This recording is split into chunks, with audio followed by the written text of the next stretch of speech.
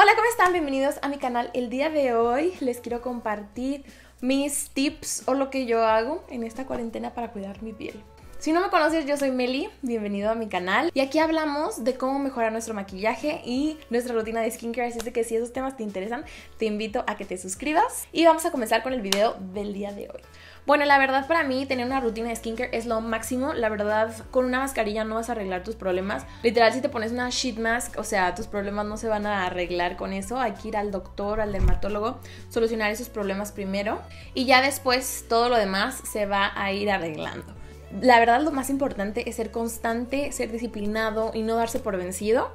Y para mí eso ha sido lo mejor en cómo he conseguido esta piel que la verdad ahorita estoy muy contenta, me siento muy segura.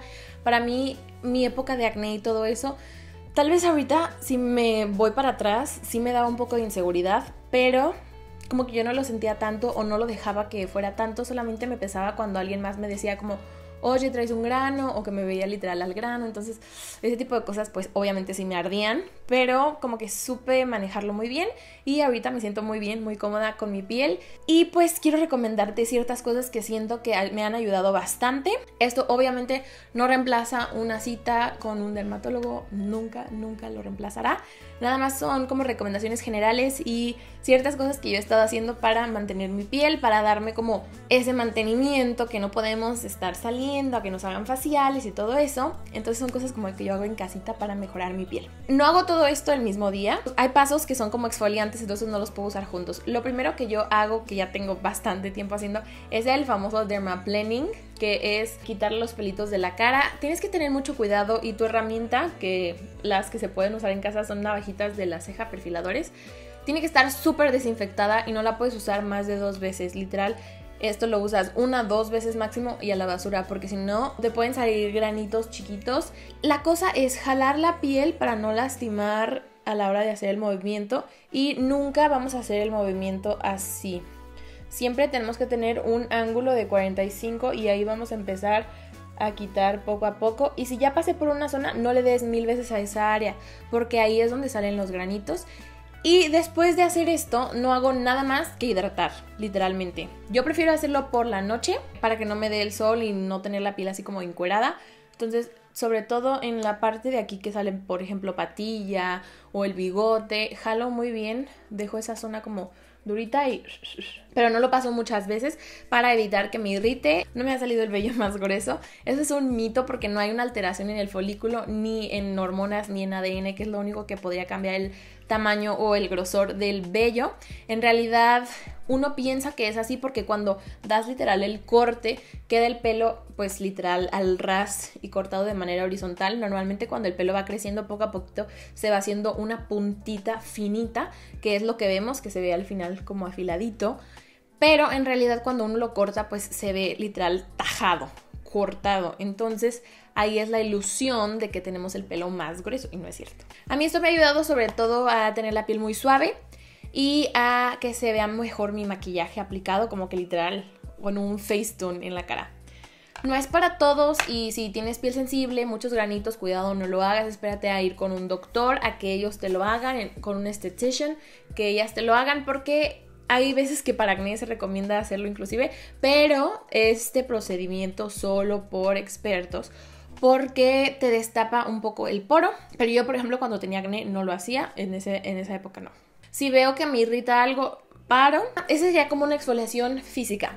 Otra exfoliación física que hago, que no la hago el mismo día, es usar este tipo de beauty gadgets que a mí me han gustado bastante. Este es un, un, succionador de poros y este es un skin scrubber que este lo usa cuando vas a un facial. Y ninguno de los dos se debe de usar seguido. Yo los uso como una vez al mes, una vez, no sé, cada 20 días, mm, más o menos. Cuando siento que la piel ya está muy congestionada y que mis retinoides y mis exfoliantes ya no lo hacen, necesito sacarlo físicamente. Los conseguí en Amazon, haz de cuenta que se prende, este tiene varias velocidades y lo debes de hacer en piel húmeda. Nunca debes de dejar el mismo aparato en la misma zona porque va a pasar esto. Succiona y va a dejar un morete. Entonces lo que hay que hacer para que funcione correctamente es, por ejemplo, me lo voy a poner en el cuello porque traigo maquillaje en el rostro, poner la piel igual durita y arrastrar. ¿Me explico? arrastrar de esa manera para que vaya absorbiendo todo y que no se quede solamente en un área. Esto tampoco lo recomiendo hacerlo diario, obviamente, porque también nos va a sacar el punto negro. La otra cosita es este, el Skin Scrubber. Este igual se tiene que hacer con la piel húmeda. Lo prendes y tiene ese rarito. Son vibras como ultrasónicas. Y tiene varias opciones para que te limpies el rostro. Para que te saques los granitos y tiene el ion más y el ion menos que es para poner productos. Ese, por ejemplo, si lo podrías hacer diario, que no es de extracción, solamente es para aplicar tus sueritos para que penetren mejor. Nada más que la extracción no se hace de esta manera, sino se gira el skin scrubber, tomas el área que necesitas y empiezas a extraer poco a poco Obvio, este también se tiene que espaciar más su uso, no es de uso seguido. La parte del suerito, claro que sí lo puedes hacer más seguido. Y este me ayuda literal a sacarme los poros así, se me van saliendo poco a poco. Esto no es una solución, ninguno de estos dos es una solución. Si no tienes una rutina de skincare buena con ácidos, por ejemplo, BHA o algún AHA que te ayude a limpiar tu porito, esto no te va a ayudar tanto. Poco a poco, mientras más lo vayas usando, vas a ir mejorando y vas a sacar menos grasita. Pero el punto es tener una rutina de skincare que esto sea complemento, no que esto sea tu único aliado. ¿ok? Y no siempre tenemos punto negro, hay veces que solamente tenemos unas cosas llamadas filamento sebáceo que lo queremos sacar y no, eso se tiene que quedar ahí. En resumen, estos a mí me han gustado mucho, lo recomiendo. Nada más que tienes que ser cuidadoso porque si tú entierras mucho este skin scrubber te puedes lastimar. Ojo, así. Si yo hago mucho este movimiento, esta presión, además como tiene ultrasónicas, Aquí ya se me quedó una rayita marcada, no creo que alcancen a ver. Pero eso lastima mucho y deja marcas, deja costritas. Entonces tienes que ser muy cuidadoso cuando lo uses. Otra cosa que me gusta hacer es utilizar este kit de Julian Brow que conseguí en eBay y es un activador y un color. Los mezclo en un botecito y después me lo empiezo a aplicar siguiendo la forma natural de mi ceja. La verdad no me preocupo que sea pelo por pelo y después lo corrijo con un corrector para que sea el mismo nivel, espero, me saco los pelitos que me sobran, si es que me sobran, y con agua micelar comienzo a retirar todo el tinte y listo, la verdad me encanta. Lo hago normalmente cuando voy a la playa o en estos días que no necesito pintarme la ceja. Otra cosa de exfoliación también, que obvio no la hago en el mismo día que hago todo eso, es este peeling de The Ordinary, es el rojito que ya conocen, que me encanta, te limpia el poro a profundidad a diferencia del Skin Scrubber, este es químico, el Skin Scrubber es físico, este también te ayuda a limpiar los poros desde adentro y a mejorar el aspecto, el tono, a quitar manchas, los granitos, los puntos negros y este para mí es muy muy muy bueno porque este sí es un tratamiento que va a entrar muy bien a los poros. Este nada más te va a ir sacando como que el build up que está ahí acumulado que obvio también se necesita quitar, pero si no tenemos una rutina, repito, no nos va a funcionar tanto. Ahora por los últimos pasitos, este Jade Roller que por acá te dejo mi video enseñando cómo funciona. Haz de cuenta que esta es una piedrita de jade y lo que haces es empezar con movimientos ascendentes siempre. Uno para mejorar la penetración de productos y otro para relajar, desinflamar, quitar un poco esa linfa que se queda por ahí para mejorar la circulación y todo eso. Tal cual, este no siento como que me haya mejorado mi la piel, o sea, nada más yo lo tengo en el refri y es como que súper refrescante usarlo. Es de las cosas que menos necesitarías, siendo muy honesta. Pero, pues a mí me gusta, es como, no es necesario, pero es chido tenerlo, ¿me explico? No, no vas a tener como que la piel linda nada más por sobarte un rodillo, siendo muy sincera, la verdad. Entonces, a mí me gusta tenerlo, me gusta para aplicar mis sueros, para dar un masajito. La herramienta que más me gusta como para esculpir la cara, para dar más forma y todo eso, es el Washa o Wasa, que es una herramienta china, si no me falla la memoria que también es de jade y haz de cuenta que con este empieza a hacer ciertos masajes para darle más forma y que se vea como que más joven la piel. Yo la verdad este sí siento que ayuda con estructura y a que se ponchen por ejemplo los cachetes cuando estoy muy muy muy hinchada, agarro este, me empiezo a dar mis masajitos y se me baja mucho.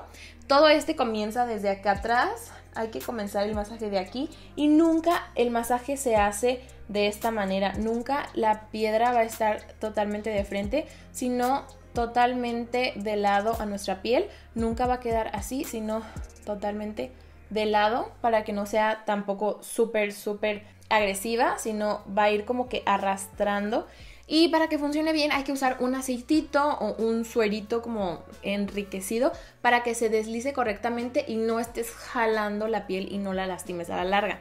Entonces yo comienzo desde atrás, después tomo mi cuello y empiezo a bajar aquí de ladito y hay que hacer este movimiento como de wiggly acá también. Me ayuda mucho estas formas, por ejemplo para el cuello.